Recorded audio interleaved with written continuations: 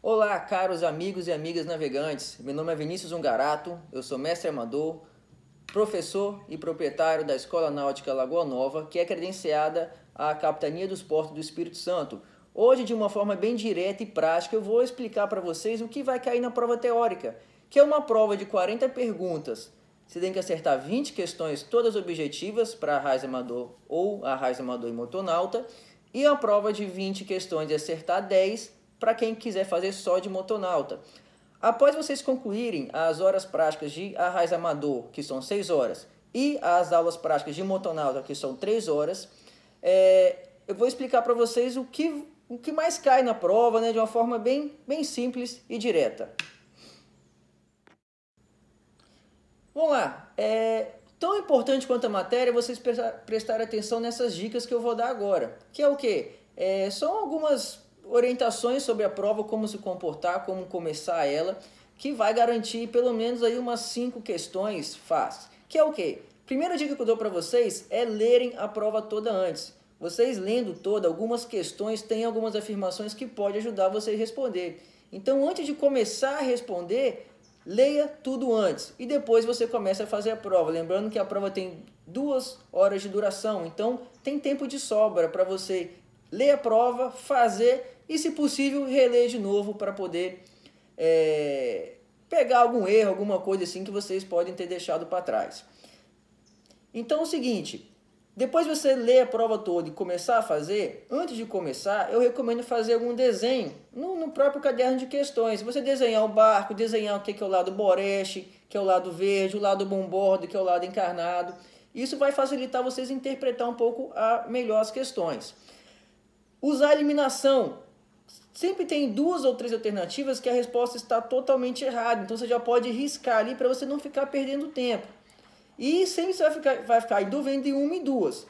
Sempre vai ter questões que não tem em lugar nenhum, infelizmente, porque a Marinha sempre atualiza o banco de dados delas.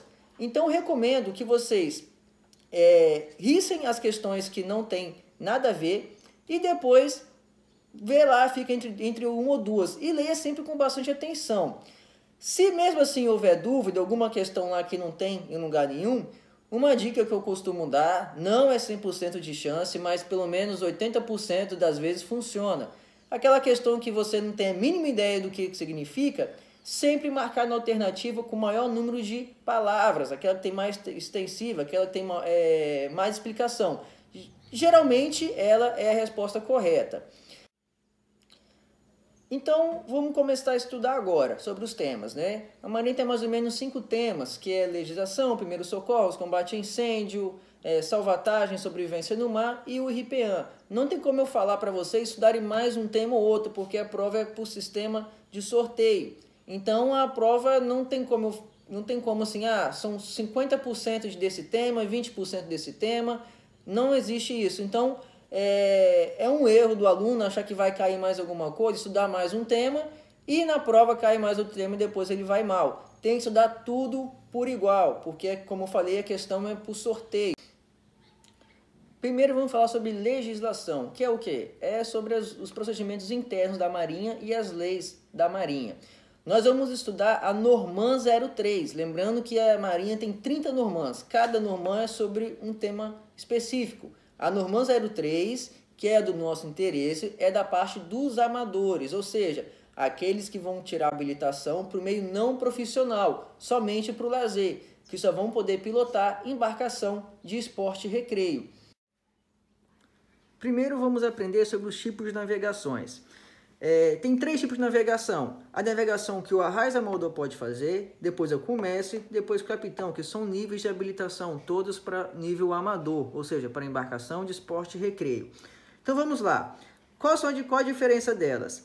Imagina que aqui fosse a praia, até duas milhas náuticas da costa, o arraiz amador é permitido navegar, que é considerado área interior ou áreas abrigadas. E lagoa, rio, tudo é área abrigada. E no mar, até as duas milhas. Para você ultrapassar as duas milhas náuticas, você tem que tirar a carteira de mestre amador, que é uma prova que você faz depois que você tem a carteira de arraiz.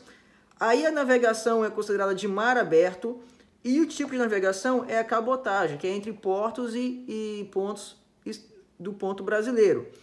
Para você ultrapassar as 20 milhas náuticas, tem que ter a carteira de capitão amador.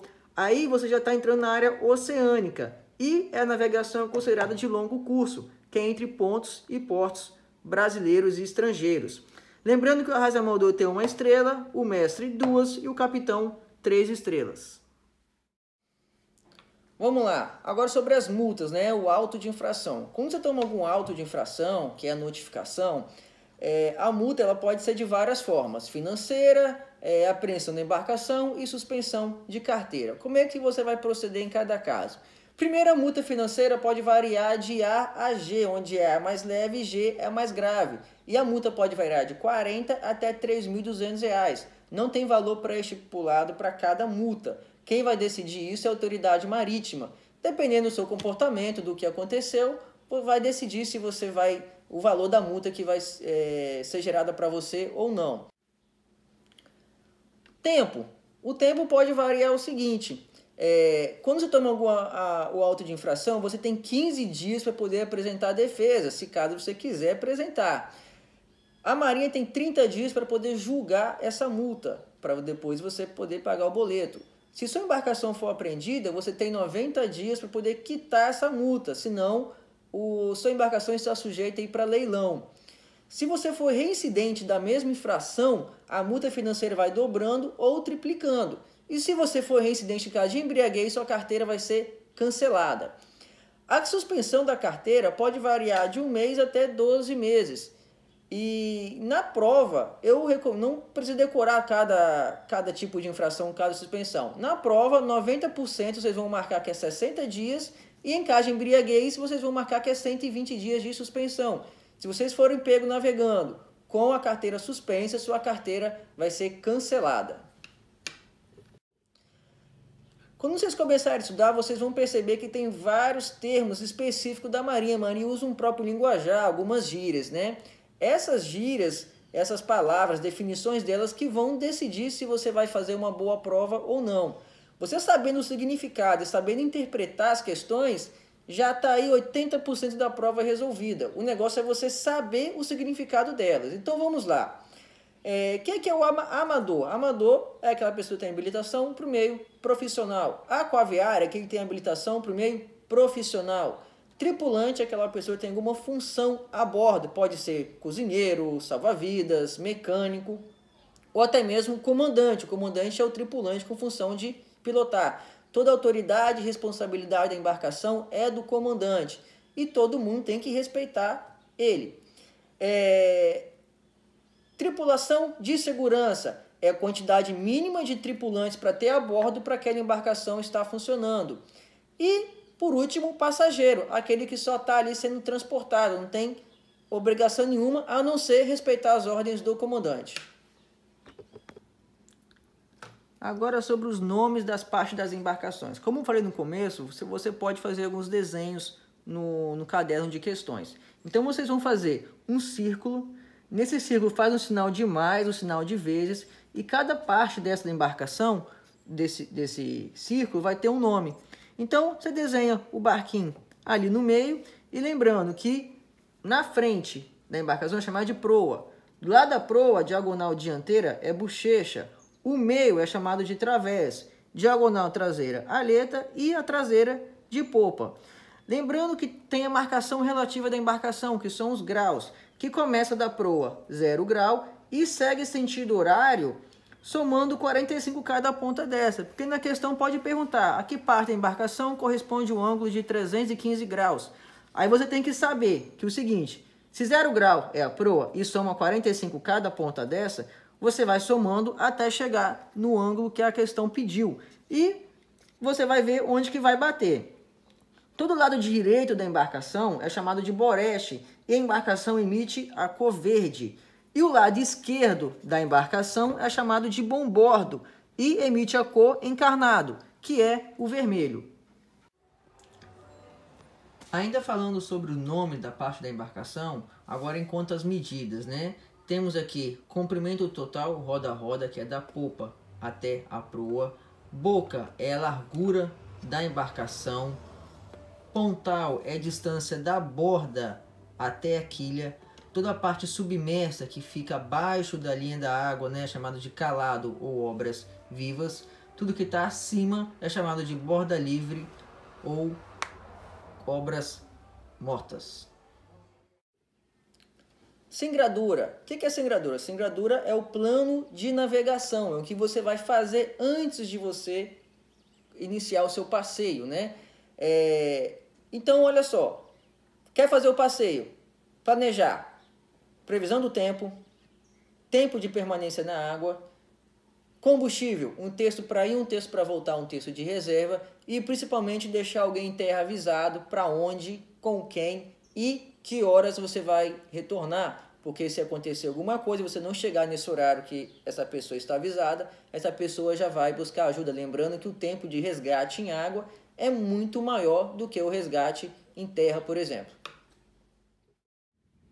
Sobre a estabilidade da embarcação, ela pode estar de quatro maneiras e uma só é correta. Ela pode estar abicada, muito peso no bico, ou seja, na proa, tá errado. Ela pode estar derrabada, muito peso na popa, ou seja, no rabo. Então ela vai estar dessa forma, também está errado. Ela pode estar de banda ou adernada, que é muito peso e muito peso em um dos bordos.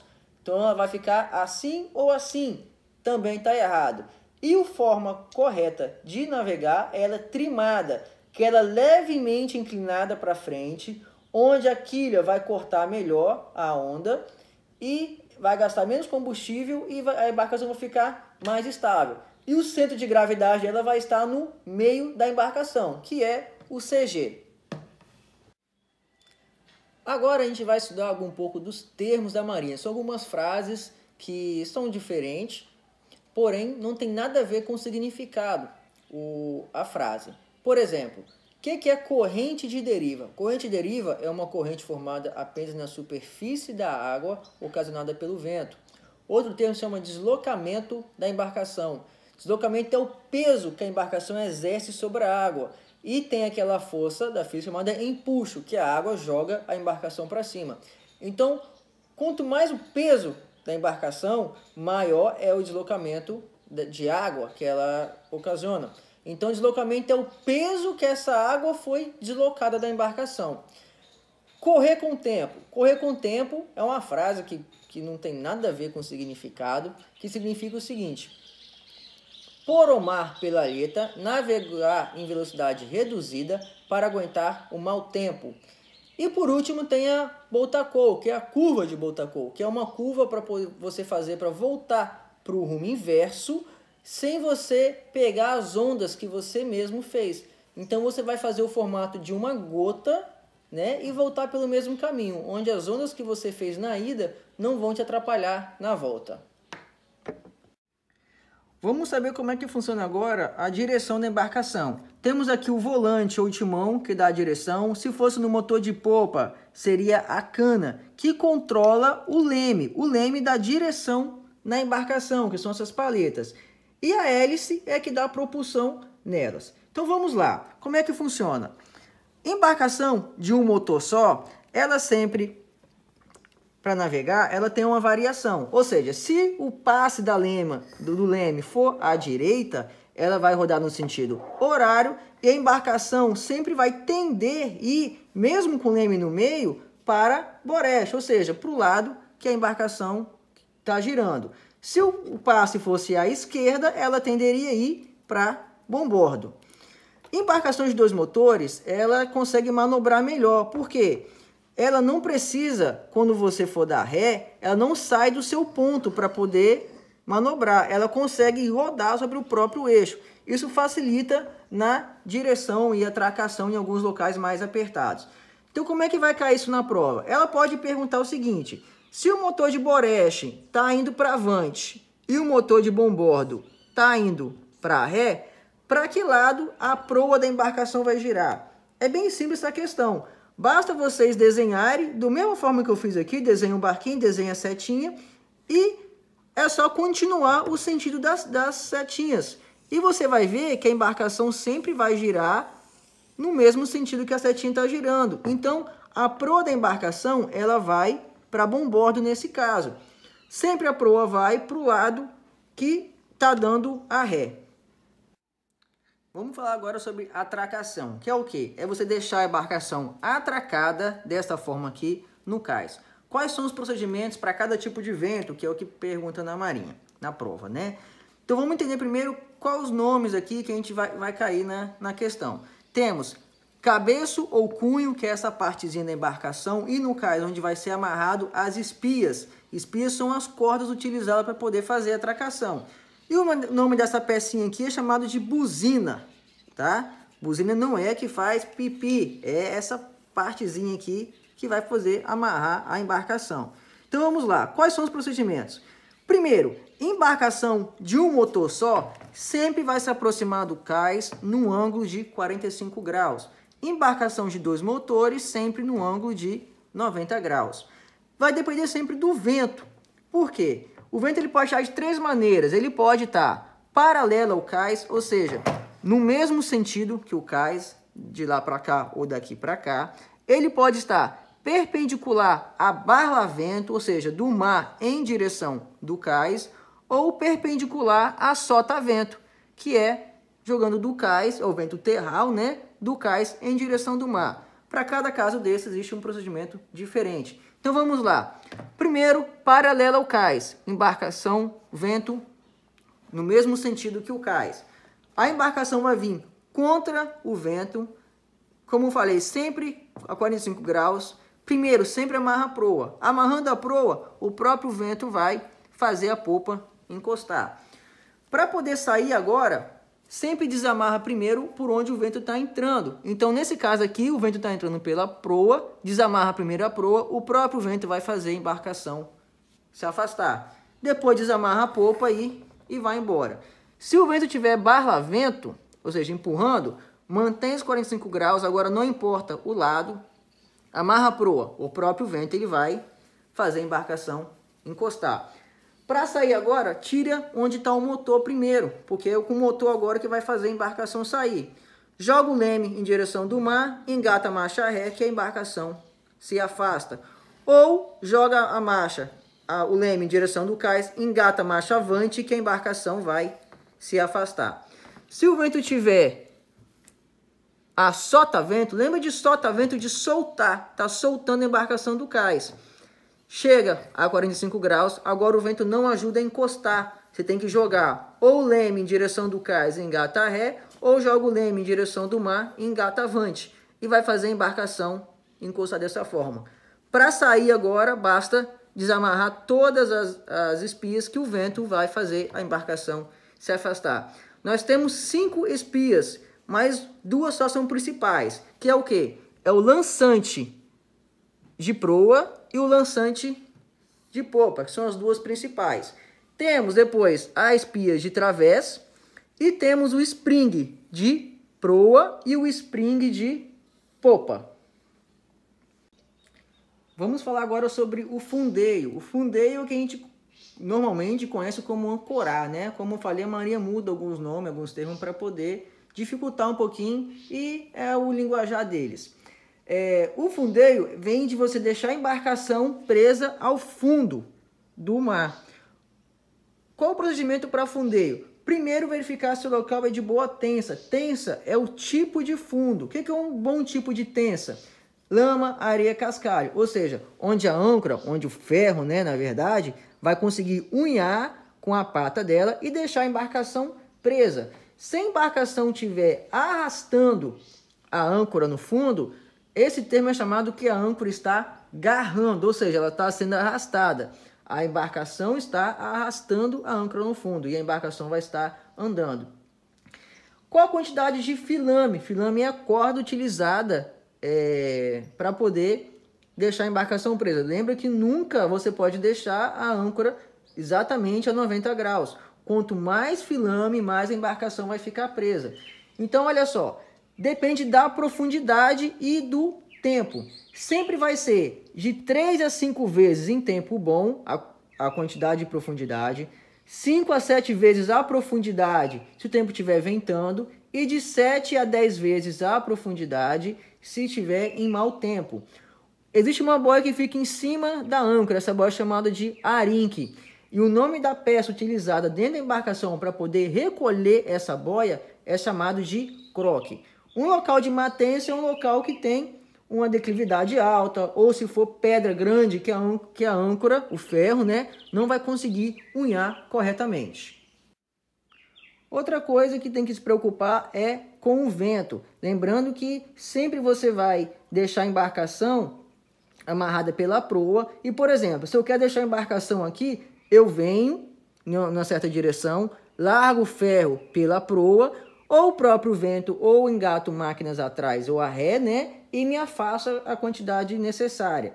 Porém, se o vento mudar de direção, a, a embarcação vai fazer um raio em torno do ferro, né? Então, outra preocupação é que nesse raio que a embarcação for fazer, não pode haver nada, nem pedra, nem outras embarcações tem que estar totalmente livre, porque o tempo ele pode mudar, o vento pode mudar, a embarcação pode encalhar ou bater em outras coisas. Primeiros socorros é uma parte da prova que é bem direta, bem objetiva, porém tem muita pegadinha, então você tem que prestar bastante atenção.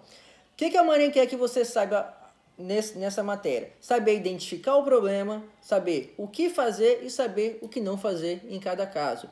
Vamos falar primeiro em parada cardíaca, quando o coração para de bater. O que, que você vai fazer? Quais são os sintomas, né? Olhos dilatados, pele pálida e sem pulso.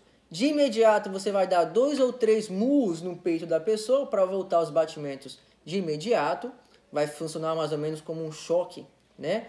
E depois você vai iniciar a massagem cardíaca externa, que são, que são as pressões no peito. É, se na prova perguntar onde é feita essa massagem, marque que é no externo. E você vai fazer 69 compressões por minuto. E a cada 10 pressões você vai fazer um sopro. O sopro é respiração boca a boca. O sopro, o intervalo vão ser de 10 a 15 por minuto. Outro caso é o afogamento. Sempre você vai salvar a pessoa com, levando o seu colete e o colete da pessoa, ou a boia, né? E vai trazer a pessoa para a areia. Deixa ela de, deitada de lado ou de barriga para baixo para poder vomitar a água e depois vai verificar a respiração e o batimento cardíaco para iniciar o procedimento. Lembra sempre de manter o queixo da pessoa virado para cima para depois você iniciar os procedimentos. Em caso de fratura, quebra de osso, né? A fratura pode ser simples ou fratura exposta. A fratura simples é quando o osso quebra e você tem que imobilizar. A fratura exposta é quando o osso sai, né, fica exposto. É, em todos os casos você vai imobilizar. Imobilizar você deixar o membro imóvel com jornal, tala, qualquer coisa dura. Então você vai usar faixa, qualquer pano para deixar o, o membro preso. Se for braço, dobrado ao corpo e se na prova perguntar sobre as pernas, você vai marcar que é esticados com o pé na posição natural. Nunca tentar colocar o osso no local. Em caso de choque, choque elétrico, né? Às vezes a pessoa está presa ao circuito. Em todos os casos, você nunca deve encostar na vítima, porque se você encostar, você vai fazer o aterramento. Então, o primeiro passo é você desligar o circuito elétrico, se não tiver como desligar, é tentar empurrar a vítima com algum objeto não condutor de eletricidade. Um, madeira, borracha, nunca usar nada de metal. É, muita gente usa o remo para poder empurrar. E a, o remo é feito de alumínio, então vai passar a corrente elétrica e a pessoa também vai se tornar vítima. Após salvar a pessoa de choque elétrico, deixar em local arejado, pode dar água e lembra que o choque queima a pessoa de dentro por fora. Então, às vezes, por fora a pessoa está normal, mas por dentro ela está bem danificada. Queimadura tem primeiro, segundo, terceiro e quarto grau. Qual a diferença delas? Primeiro grau é quando tem a vermelhidão na pele, às vezes por insolação ou só por encostar em alguma coisa quente. Segundo grau é quando tem presença de bolhas, nunca deve estourar elas, deve sempre preservar. Lava com água corrente todo tipo de queimadura, água corrente limpa, e deve-se cobrir a vítima. Nunca você pode tirar a roupa da, da, em cima da queimadura. Queimadura em terceiro grau, carbonização completa da epiderme, que é a pele, né? E quarto grau também é completa, porém ela já é indolor, onde que, a, a, queima os nervos de dor. É uma, um caso mais grave possível. Calor Tem dois tipos de calor, tem a insolação e a intermação. A insolação vem do contato direto dos raios do sol. O nome já fala, insol, solação. E intermação vem de ambiente interno, ambiente quente, por exemplo, uma sala de máquinas ou uma sauna. Em, em todos os casos, você deve retirar a vítima, colocar no local arejado e hidratar a pessoa. Quais são a, dif a diferença dos dois? São os sintomas. Para diferenciar e facilitar a vida de vocês, lembre que em insolação os sintomas são altos, porque o sol está em cima. Então, por exemplo, é pressão alta, temperatura elevada e rosto vermelho. Na intermação é o contrário, o contrário. Temperatura baixa, rosto pálido e pressão fraca, e geralmente a pessoa está desmaiada. Como eu falei, todos os casos é só retirar a vítima e colocar no local arejado. Hemorragia, perca excessiva de sangue, né? É, lembrando que em média o corpo humano tem 6 litros de sangue e a perca excessiva pode levar à morte da pessoa. Em todos os casos de hemorragia, é, você, é melhor você pressionar o local da queimadura, do, do sangramento. Pressiona bem. Se caso, mesmo assim, houver o sangramento, você vai fazer uso do torniquete, que é aquele pano que você vai dar um nó antes do corte enfiar algum objeto duro e torcer até estancar totalmente o sangramento. Lembrando que o torniquete tem que ser folgado de 15 em 15 minutos, porque do torniquete para frente não tem mais circulação de sangue. E isso pode ocasionar a amputação do membro depois. É, e quando a hemorragia é interna, você não vê o sangue. Nesse caso, a pessoa vai sentir só uma queimação ou uma dor no, por dentro do corpo dela e levar ao hospital imediatamente. Lembrando que a pessoa vítima de hemorragia, ela vai sentir sede, vai pedir água. Você nunca pode dar água para vítima de hemorragia. E também nunca lavar o local onde está sofrendo a hemorragia, porque o sangue não vai conseguir coagular corretamente. Hiportemia é a perca de temperatura do corpo. Lembrando que o corpo humano tem em média 36 graus e meio e 37. Quando você passa de, dessa temperatura, você entra em febre. Quando você diminui, você entra em hipotermia. Nesse caso, é agasalhar a vítima pouco a pouco, de, de gradativamente. Não vai colocar 10 cobertores na, vi, na pessoa. Vai colocando um, depois coloca dois e de forma gradativa você vai aquecendo ela. Por último, em caso de envenenamento, se for por vias orais, né, ingeriu algum veneno, você vai dar água, leite para a pessoa e fazer a pessoa vomitar. Se for por vias aéreas, né, respiratórias, a pele vai assumir a cor azulada. Outro tema que tem bastante pegadinha, tem que ter muita atenção no responder, são perguntas fáceis e diretas, porém tem que ter atenção redobrada. Você, você às vezes acha que está respondendo a certa, mas a resposta correta está um pouco mais embaixo. Então vamos lá, a gente está falando de combate a incêndio, né? Quando o incêndio já começou e você tem que apagar. Lembrando que a melhor forma é a prevenção, mas quando já iniciou, a gente vai estudar agora. Primeiro a gente vai entender o que é o fogo, é, qual é a origem do fogo, né? É chamado de triângulo do fogo, que é a união de três elementos, que é o combustível, comburente e temperatura de ignição. O que é o combustível? Combustível é o material que queima. Por exemplo, papel, gasolina, borracha, plástico, Qualquer coisa que queima é combustível. O comburente é o oxigênio, é aquilo que alimenta o fogo, né? E a temperatura de ignição é aquilo que dá início ao fogo, é a faísca, brasa, centelho, calor, qualquer coisa que dá início. Então, como é que, sabendo que o fogo é a união desses três elementos, nós sabemos como apagar, que é você eliminar uma desses três. Como é que eu elimino o combustível é isolando aquela área lá para não deixar pegar fogo em outros locais. Como é que eu elimino o comburente, tirando o oxigênio, né? É abafando. Lembrando que para abafar você tem que reduzir o oxigênio para menos que 16%. E como é que eu tiro a temperatura de ignição? É esfriando o local. Lembrando que a atmosfera ela tem 78% de nitrogênio, 21% de oxigênio e 1% de outros gases. Isso cai na questão da prova. O que, que a Marinha quer que você saiba sobre o incêndio? É você saber o que está pegando fogo, identificar a classe do incêndio e saber qual o melhor extintor para poder apagar. Para cada classe de incêndio existe um extintor específico. A gente vai saber disso agora. Existe classe de incêndio A, B, C e D. O incêndio se classifica pelo material que está sendo queimado, ou seja, pelo combustível. Então vamos lá. Incêndio classe A. O incêndio classe A, o extintor é marcado por um triângulo verde.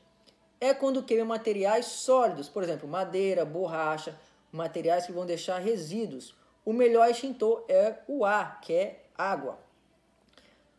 O classe B é líquidos, gasolina, querosene, diesel. O melhor extintor para poder apagar é o extintor de espuma. Lembrando que o de espuma tem que virar de cabeça para baixo e direcionar o jato para a base da chama. E a marca no extintor vai ser um quadrado vermelho. O extintor, o classe C, é um círculo azul que vai estar no extintor e é para materiais elétricos, quando tem circuito elétrico no local. O melhor extintor é o CO2. E por último são o classe D, que é marcado por uma estrela amarela. É quando queima materiais sólidos autoinflamáveis ou metais autoinflamáveis, como é, excesso magnésio, o, o fósforo, ou o mais comum que nós conhecemos é o bombril. São metais autoinflamáveis. O extintor que apaga é o de pó químico. Lembrando o seguinte, eu falei agora, acabei de falar, os extintores principais, mas existem os extintores secundários. Como é que funciona essa regra? É, o pó químico, que é o último né, que eu falei para o classe D, ele serve para todos os outros acima dele, para o C, para o B e para o A. O CO2 ele serve como secundário, para o C como principal, né? Para o B como secundário e para o A como secundário. E o espuma você pode utilizar como secundário apenas para o classe A. Nunca você pode inverter essa pirâmide. Você não pode usar o água, a água para os outros tipos de incêndio, senão você vai estar tá agravando o tipo de incêndio. Lembrando que extintores, a quantidade, o tipo e o local são definidos pela DPC em normas, né? E depende do tamanho e do, do, do tipo de embarcação. Em caso de incêndio a bordo, né? Lembrando que você só vai pular da embarcação com autorização do comandante. Você vai pegar seu colete e aguardar a autorização. Quando o risco de explosão for iminente, aí o comandante vai dar ordem para abandonar a embarcação. Onde você deve se posicionar nesse caso? Vamos supor que o fogo está aqui no meio da embarcação e o vento esteja entrando pela proa, ou seja, a proa é barla-vento e a popa é sota-vento vocês devem se localizar a barlavento da embarcação, ou seja, a fumaça, o calor e as chamas vão ficar a sota-vento. Se caso precisar pular, vocês vão pular uma mão no colete, uma mão no nariz, pé junto e esticados. Pulou na água, nada sempre contra a correnteza, mesmo que demore mais, lembrando que às vezes a embarcação vai estar a favor da correnteza. Então, se, se houver uma explosão, vocês vão ficar sempre mais longe dela. Se houver óleo a bordo, mergulha, óleo na água, mergulha e nada por baixo da água. Sobrevivência e salvatagem humana, né? É, como você se comportar e o que fazer em caso de, de naufrágio. Primeiro vai entender alguns procedimentos e como é que funcionam alguns equipamentos de segurança. Vamos lá. Os coletes salva-vidas, ele existe o classe 1, 2, 3 e o classe 5, tá? O 1 é para navegação oceânica, lembra lá no começo? Onde você ultrapassa as 20 milhas? É para esse. O classe 2 é para mar aberto, para área costeira, até as 20 milhas.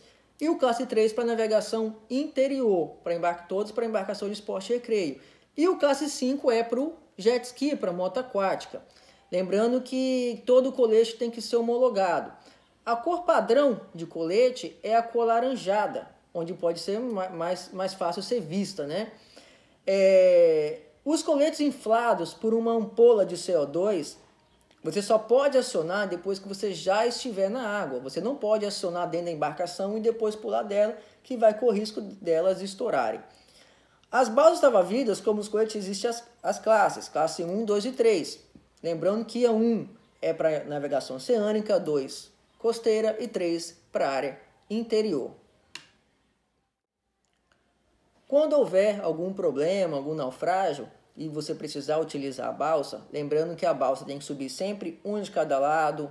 Se, a, se tiver mais pessoas do que a balsa suporta, fazer o revezamento de pessoas, sempre entrar com a roupa seca. é, ficar o máximo parado possível para economizar energia. A Marinha estipula 700 ml de água por dia por pessoa, né? Dá duas latas de 350. E a ração humana que tem dentro da, das balsas é feita à base de glicose, açúcar, né? Onde vai dar uma energia rápida para a pessoa. Equipamento de comunicação, o rádio VHF sempre está ligado no canal 16, onde você vai ter acesso a todas as outras embarcações. Toda embarcação é obrigatória dar socorro a, outras embarcações que precisarem de ajuda. E o EPIRB te dá a localização por GPS. Por último, nós vamos falar sobre o tema do RIPEAN. É uma parte mais chatinha porque é 90% decoreba.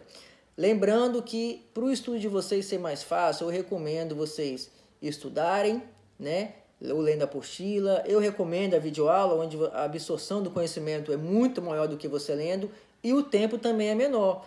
Você vai ler uma apostila, você vai gastar umas 3, 4 horas. Você vendo o vídeo, você vai gastar uma hora vendo o, o mesmo coisa que tem na apostila e a, o aproveitamento é muito maior. Então você, eu recomendo estudo diário. Melhor forma para você estudar a coisa que é para decorar é o estudo diário. E após o estudo, para você firmar 100% o que, o que você estudou, é você botar em prática. É fazendo simulado, é fazendo questionário e respondendo pergunta. Se possível, você ensinar alguém. Aí é 100% de chance que você acertou tudo. Pega um amigo e está tirando carteira junto com você e começa a estudar junto, explicando ele alguns temas. Vamos lá, o RIPEAN é uma sigla, significa Regulamento Internacional para Evitar Abarroamento no Mar, ou seja, regras para evitarem acidentes na água. No mar não quer dizer que é água salgada, é qualquer região. Toda embarcação deve respeitar essas regras, são 38 regras. Primeira regra vem a hierarquia entre as embarcações, ou seja, qual embarcação tem prioridade, ou seja, tem preferência de passagem sobre a outra. Vamos entender o que é preferência de passagem. Preferência de passagem é quando há o risco de colisão. Risco de colisão é o que? Marcação constante, é um ponto de encontro, né? E distância diminuindo, ou seja, eles estão se aproximando uma da outra e vão se chocar. O termo preferência de passagem é aquela embarcação que não precisa alterar o rumo nem a velocidade, ou seja, vai manter o rumo e a outra vai fazer a manobra. Porém, se você perceber que mesmo você tendo a preferência, a outra não fizer manobra, por obrigação você vai ter que fazer essa manobra, porque bateu, tá errado os dois. A regra principal do RIPEAN é evitar acidentes. Então não é porque você está certo que você vai esperar o outro fazer manobra. Primeiro é a hierarquia, vem o tipo de navegação de cada embarcação. No topo, que tem preferência sobre todas as outras, é a embarcação sem governo, que não consegue manobrar de forma nenhuma. Depois vem de manobra restrita, depois embarcação a pesca, depois a vela e por último a mecânica, que é mais fácil de curvar, né? Então, por exemplo, se vier uma embarcação de mecânica e embarcação a vela, a embarcação a vela vai ter preferência, porque depende do vento. Porém, se a vela estiver utilizando o motor no momento, ela já é considerada mecânica. Lembrando que quando a embarcação for do mesmo porte, por exemplo, duas mecânicas, duas velas, a maior tem preferência sobre a menor. Então a menor que vai ter que fazer a manobra e a maior vai manter o seu rumo.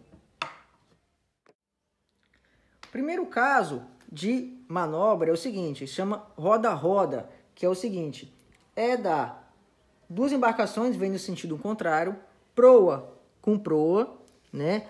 As duas têm a obrigação de virar para boreste, ou seja, elas vão passar bombordo com bombordo.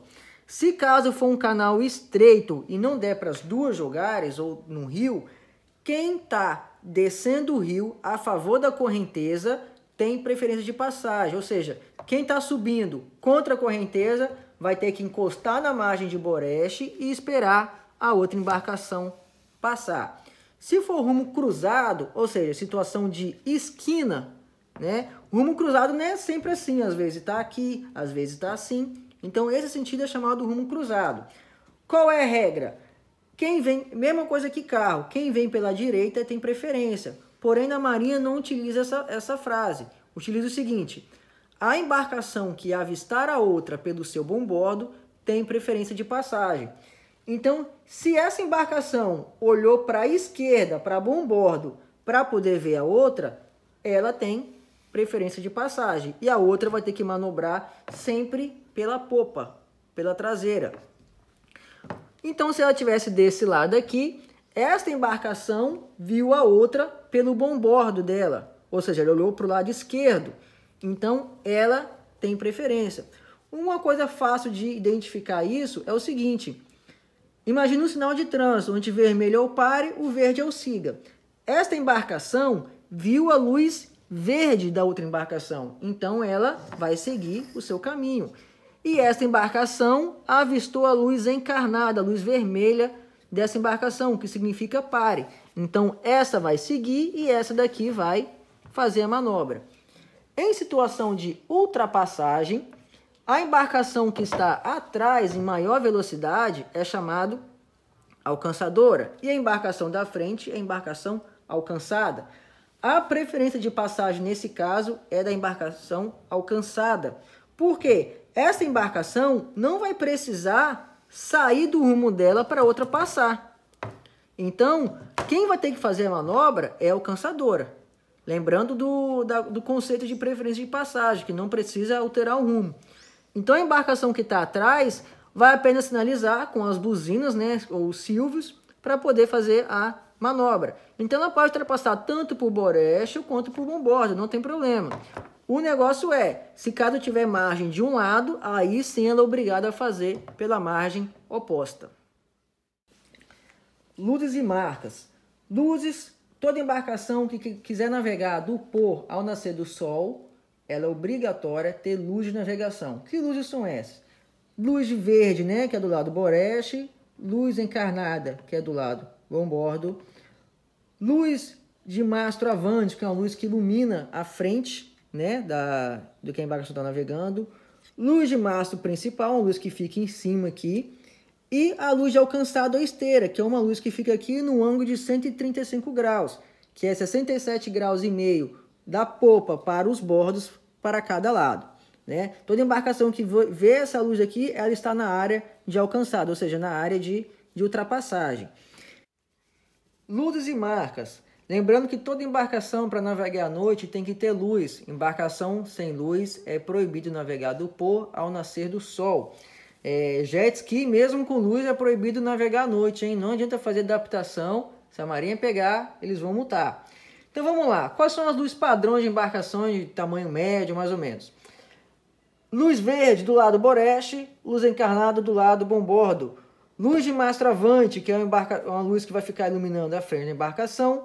Luz de mastro principal. Luz de alcançado, luz de esteira, que fica aqui na popa que fica num setor de 135 graus, ou seja, 67 graus e meio da popa para os dois bordos. Qualquer embarcação que venha nesse sentido aqui e vê essa luz, ela está na situação de ultrapassagem. Para a embarcação de grande porte, ela indica a situação dela no mastro principal. De dia vai utilizar esferas, né? São as marcas no mastro principal. E de noite utiliza luz, então vamos ver, quais são essas marcas? Para a embarcação que está fundeada, durante o dia é marcado uma esfera preta. Se tiver durante a noite, vai utilizar uma luz branca.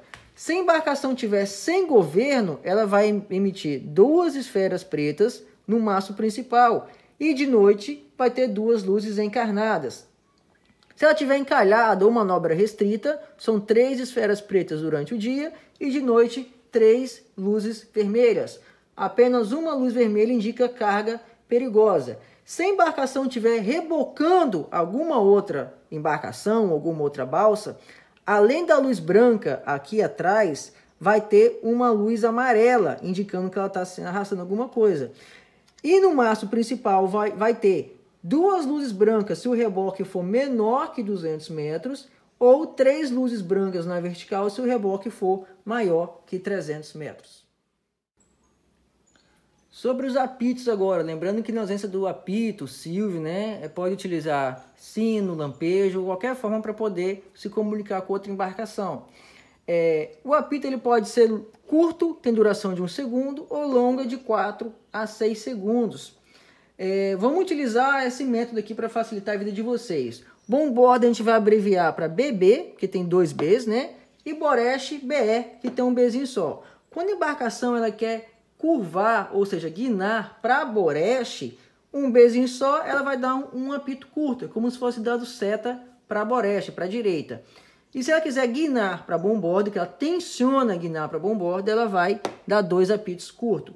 Quando ela quiser dar máquinas atrás, ou estou dando atrás, é a ré. Ela vai dar três apitos curtos. Quando ela não entendeu ou não concorda com as intenções de manobra, ela vai dar cinco apitos curtos. Um apito longo somente é um sinal de advertência, está advertindo a embarcação sobre alguma outra coisa. Por exemplo, um canal estreito, uma curva fechada uma embarcação grande é, avisando a outra que tem que sair fora do caminho, ela vai dar um longo direto. Quando a embarcação quer ultrapassar a outra, ou seja, a alcançadora quer avisar que vai ultrapassar, ela primeiro vai dar dois longos e seguidamente vai dar dois curtos se quiser ultrapassar pelo lado bombordo ou dois longos e um curto se for ultrapassar pelo lado de boreste. Vamos falar agora sobre balizamento. O que é balizamento? Balizamento são as boias. Temos oito boias para estudar. Primeiro, o que é boia? Boias são dispositivos flutuantes que indicam perigo, área de navegação ou caminho a ser seguido. É, o sistema de boia que nós utilizamos na parte da América, na parte do Ocidente, é IALA B. A parte do Oriente utiliza IALA A. É, as boias podem ser cegas ou luminosas, cega que não emite luz e luminosa que emite luz. Quem é responsável de colocar é DNH, Diretoria de Navegação e Hidrografia. Se caso você bater em alguma boia dessa e estragar, a, sua penitência vai ser consertar ela. Nós temos oito boias para estudar, só que dá para a gente dividir elas em pares. Então a gente vai decorar quatro boias, o contrário dela vai ser o oposto. Primeira boia que nós vamos aprender, primeiro par de boia, né, se chama balizamento de sinal lateral de entrada e saída de porto. Que que são, quais são essas duas boias? É uma boia toda encarnada ou uma boia toda verde, né? O nome dessa boia aqui é boia de bombordo e o nome dessa boia é boia de boreste. Não confundam porque o lado da embarcação boreste é verde e o lado bombordo da embarcação é encarnado. Porém, o nome dessas boias é de, ao contrário da cor da embarcação. Então, a cor encarnada aqui, o nome dessa boia é boia de boreste. E o nome dessa boia aqui é boia de bombordo. Para que, que elas servem? Elas servem para indicar o caminho seguro do mar em direção do porto. Ela indica um perigo. Por isso que ela é de sinalização lateral. Ou seja, ao você avistar essa boia, você vai ter que decidir se você vai passar ou pelo lado boreste dela ou pelo lado bombordo. Como é que você vai saber isso? Nessas duas boias aqui é a seguinte regra. Você entra no porto solteiro e sai do porto casado. Quer dizer o quê? Quer dizer que você, quando estiver indo para o porto, quando você vê a boia verde, você vai entrar solteiro. Você vai deixar a boia verde do seu lado encarnado. Ou seja, você vai estar tá passando solteiro.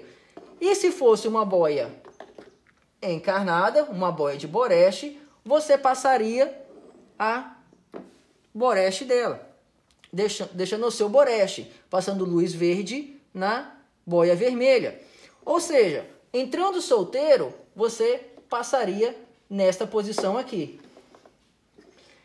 Quando você está retornando do porto, as boias vão estar do mesmo local. Porém, a embarcação vai estar invertida, por isso que agora você vai voltar casado. Você vai passar luz vermelha na boia vermelha e luz verde na boia verde. Por isso que você está saindo casado. Lembrando que essas boias elas formam um caminho imaginário do mar em direção do porto, seguindo a ordem crescente. Número 1, um, número 2, 3, 4 e vai fazendo uma rua imaginária. A marca de topo dessas, dessas boias é o seguinte: a boia de boreste vai ter o formato triângulo, né? E a verde, a boia de bombordo, vai ter o formato cilíndrico. Essas boias são numeradas, lembrando que da entrada do mar até o porto de ordem crescente. Outra boia, que também é de sinal lateral, só que agora é de bifurcação de canal, ou seja, são boias de sinal lateral de canal preferencial. Por quê? Ela indica o caminho mais seguro para ir, se é para o caminho de Boreste ou para o caminho de, Boré, de Bombordo. Como é que você vai saber qual é o caminho? É bem simples. A boia vai ser encarnada com faixa horizontal verde ou verde com faixa horizontal encarnada. Como é que você vai saber para que lado ir só olhando a boia? É bem simples. Essas boias vão ficar aqui no meio da bifurcação, indicando o quê? Que o caminho de Boreste ou Bombordo é mais seguro. Basta você olhar qual é a cor predominante na boia. Nesse caso aqui, ela é verde com faixa horizontal encarnada. A cor verde é o lado boreste da embarcação. Então essa boia aqui é preferencial a boreste, quer dizer que esse caminho aqui é mais seguro que esse. E se fosse ao contrário, seria a boia de canal preferencial a bombordo, onde ela é encarnada com faixa horizontal verde. A cor predominante é encarnada, então o lado encarnado da embarcação é o lado bombordo, então é preferencial a bombordo. Próximo par de boia é a boia de canal especial, onde ela é toda amarela. Lembra que o canal especial, ao você avistar ela, você tem que manter velocidade de 3 nós de velocidade, ou 5 km por hora, que é a velocidade que toda embarcação, ao se aproximar da praia, ou principalmente de área de banhista, vai ter que, vai ter que se limitar. Essa boia geralmente fica a 200 metros da margem para embarcação mecânica, ou seja, embarcação que estiver se aproximando da margem avistou essa boia amarela de canal especial, tem que vir em linha reta, ou seja, na perpendicular, sempre a 3 nós de velocidade até chegar na praia. E da praia até a boia, também mantém a mesma coisa. E a boia de águas seguras ou águas navegáveis vai ser uma boia branca com faixas encarnadas na vertical. Essa boia aqui indica águas tranquilas, águas navegáveis. Dica para vocês lembrarem, é a única boia que tem a cor branca. Branca lembra paz. Então, essa cor aqui indica que você já pode navegar tranquilamente. Embarcação a rema vela não precisa ser os 200 metros, é só manter os 100 metros nessa velocidade de 3 nós. Se a área for proibida de navegar, o que é a área de proibida? É a área de tráfego ou fundeio proibido, que é numa área de 500 metros, num raio né, de 500 metros de plataforma de petróleo e no raio de 200 metros de instalações militares. Essas são áreas de segurança. Áreas seletivas são áreas que você pode passar, porém tem que manter os três nós. Por último, vamos ver as duas boias de perigo. Toda boia que tem a cor preta indica perigo. Aí tem preto e amarelo e preto e vermelho. Qual a diferença dela? Essa aqui é perigo isolado, é um perigo antigo que já está na carta náutica.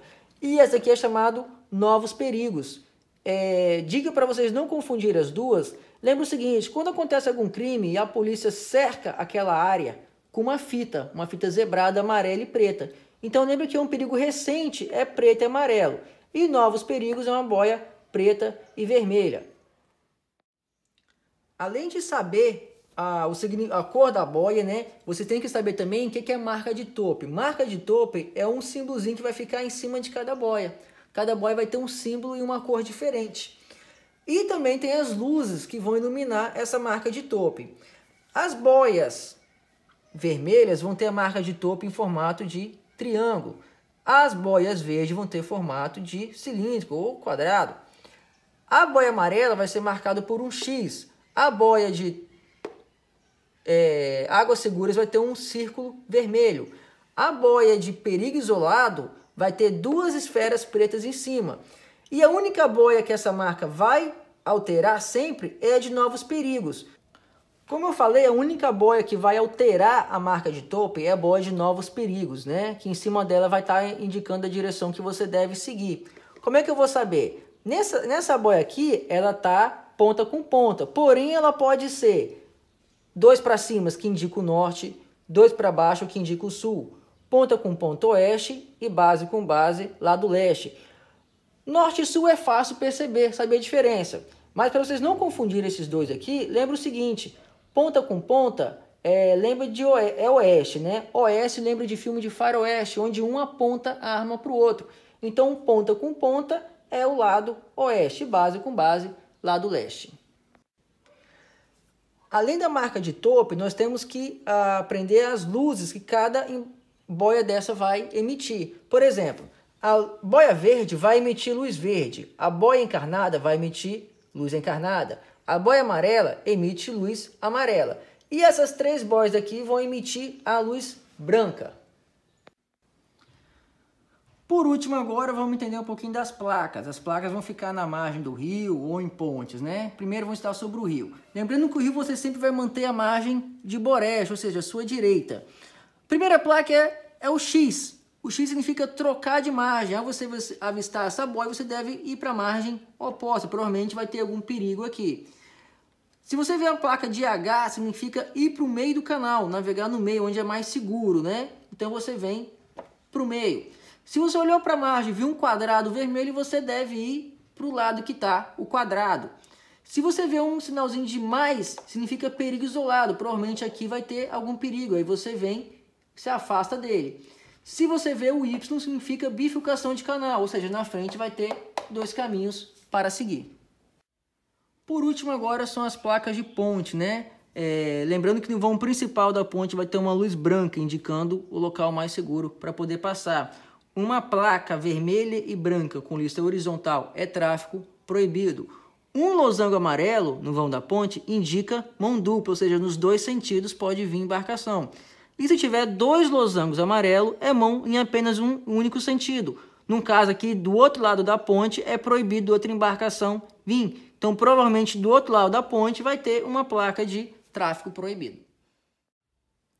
É isso aí, galera. Muito obrigado pela atenção, por ter assistido o vídeo. Espero ter ajudado vocês de uma forma mais dinâmica, uma forma mais desenhada, né? Que eu sei que facilita um pouco o aprendizado.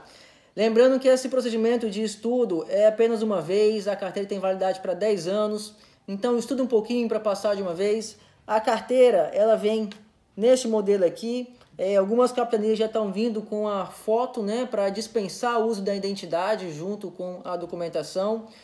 Ela vem escrito Arraiz e Motonauta. Se vier só Arraiz, você não pode pilotar motonauta. E se vier só motonauta, você não pode pilotar embarcação de barco e lancha, por exemplo. Deixa o like aí se você gostou. Pode assistir quantas vezes quiser. Espero ter ajudado. Se vocês quiserem um material didático, apostila, questionário, provas que a Marinha já aplicou, que é a melhor forma de estudar, de você botar em prática o que você aprendeu, manda uma mensagem. O meu telefone vai estar aqui na descrição do vídeo ou manda um e-mail. É, tenho o maior prazer em ajudar. Se caso vocês quiserem graduar a carteira de vocês, tirar a carteira para mestre, eu tenho esse material disponível também em forma de vídeo aula. Só me mandar uma mensagem que eu vou mandar o vídeo para vocês. É, navega com segurança e é isso aí. Forte abraço para vocês.